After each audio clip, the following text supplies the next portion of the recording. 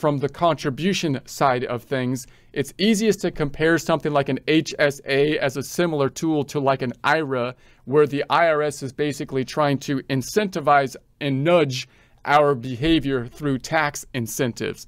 So if we put something under the umbrella of, say, an IRA, for example, that means that we're going to get a tax benefit possibly when we put the money into the IRA, the, and we might get a tax benefit when the money grows to not have to recognize it as revenue. And then there's a tax consequent possibly when we take the money out.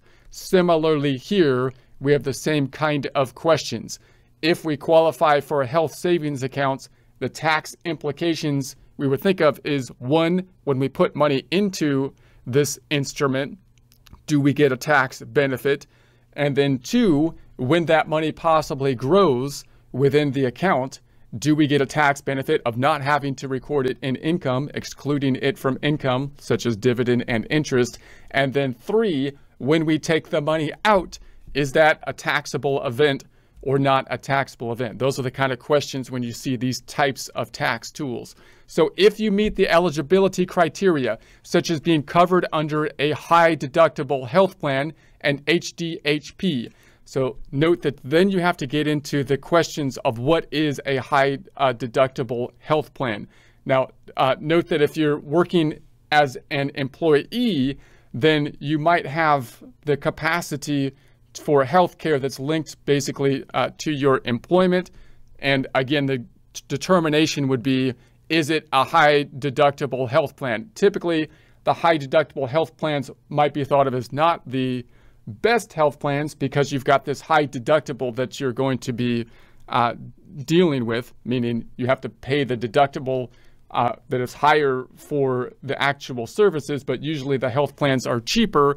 And then you can think that the IRS wanted to kind of subsidize people that might have more of the high deductible plans, and part of that happens with this uh, health savings account.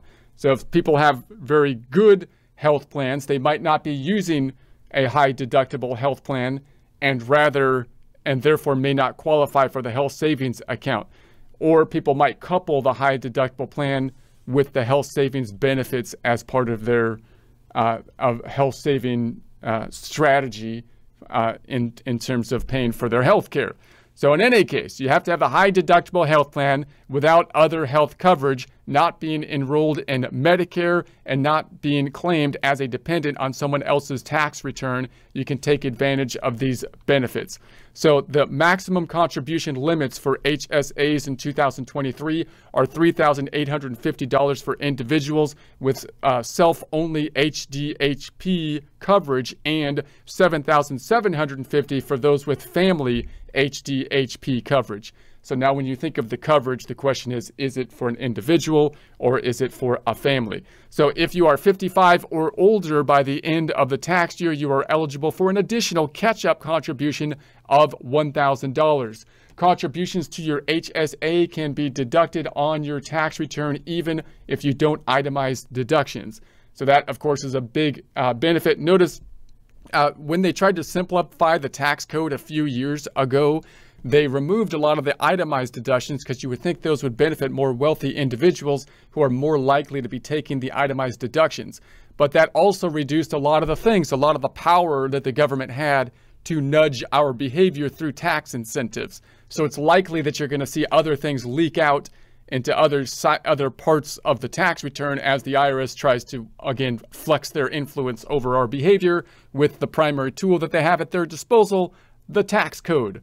So these contributions can either be made uh, by you directly or through employer contributions. Importantly, employer contributions are excluded from your gross income, thereby reducing your taxable income.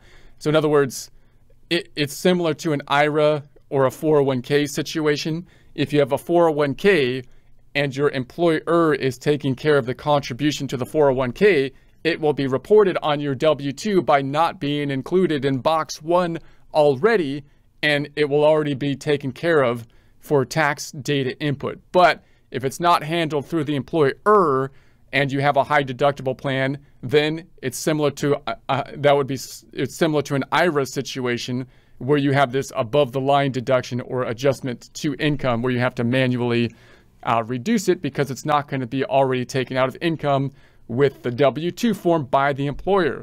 So to report HSA contributions and calculate the HSA deduction, uh, Form 8889 is used. This form also addresses any excess contributions and distributions related to HSAs. It's uh, critical to accurately report all contributions, including those made by employers and any after tax contributions you made to avoid any tax complications. IRS Publication 969 and the uh, instructions for Form 8889 are comprehensive resources for understanding HSAs and their tax implications, which you can find on the IRS website.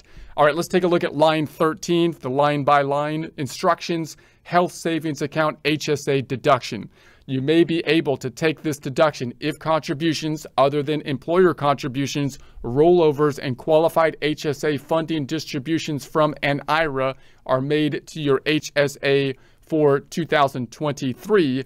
Uh, so you can see Form 8889 for more detailed information if you want to dive into some more research.